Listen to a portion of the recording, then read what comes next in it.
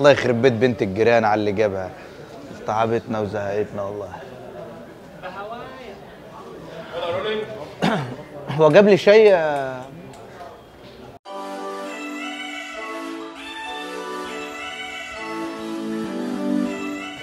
بنت الجيران مبهدلة حسن شاكوش معاها يا عيني. خلته يروح استاد القاهرة يشرب خمور وحشيش وبعد كده دخلته في مشاكل مع نقابة الموسيقيين.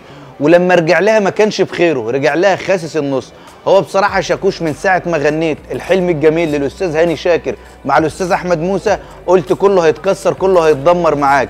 المفارقه يا جماعة إن الأستاذ هاني شاكر خلاص كان أبدى موافقته وإعجابه بحسن شاكوش ده في مداخلة تليفونية مع أحمد موسى وكان حاضر حسن شاكوش في مداخلة تانية برضه. قال له يا حسن أنت صوتك جميل.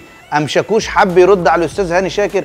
قال له والله يا أستاذ هاني أنا أبويا وأنا صغير قال لي عايز تتعلم غنى اسمع اتنين عبد الحليم حافظ وهاني شاكر. قام ثبت الأستاذ هاني شاكر ودخله النقابة على طول ومش بس كده قال له يا حبيبي يا حبيبي يا حبيبي ثلاثة حبيبي قام أستاذ أحمد موسى قافل السكة. فنانة رانيا يوسف اليومين دول بتعيش انتعاشة سينمائية بس هي بصراحة مش انتعاشة ولا حاجة ده خراب ديار. ست رانيا اتعرض لها فيلم اسمه دماغ شيطان قعد في السينما خمس أيام وبعد كده شالوه بسبب قلة الإيرادات. قام رانيا تعمل إيه؟ دخلت فيلم تاني بيتعرض لها اليومين دولت اسمه صندوق الدنيا ولسه الفيلم مش مؤثر. طب رانيا عايزة تعمل أي حاجة يا جماعة؟ جت راحت رقصت على بنت الجيران. هو يا رانيا بصراحة من ساعة ما قلت أنا مؤدبة ومتربية في مدرسة راهبات الناس خافت تخش أفلامك لأن هم أنت عارفه الجمهور خلبوش شوية بيبقى عايز يدخل يشوف حاجات تانية. فنان رامي صبري يا جماعة مش عارف أحدد موقفه تجاه أغاني المهرجانات.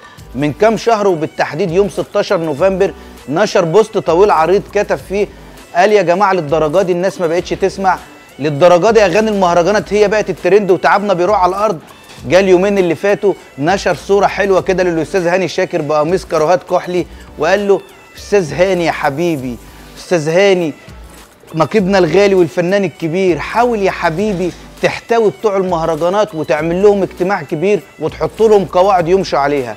أنا كده عم رامي صبري مش عارف موقفك. هل أنت معاهم ولا ضدهم؟ زي يعني مش فاهمك؟ يعني رقصت على السلم. يعني زي طريقة غناك. لا أنا عارف أنت عمرو دياب ولا رامي صبري. الممثله منى فاروق طلعت اليومين اللي فاتوا في فيديو لايف من دبي قالت يا جماعة أنا مش عارفه أعيش حياتي ومش عارفة ومش عارفة ومش عارفة. وكل يوم تطلب طلب شكل. مرة عايزة تنتحر مرة يا رب اكتب له عمرة مرة خلاص أنا زهقت من الحياة وعايزه أنتحر مرة أنا عايزه أشتغل. حددي موقفك يا منى عشان نعرف نساعدك.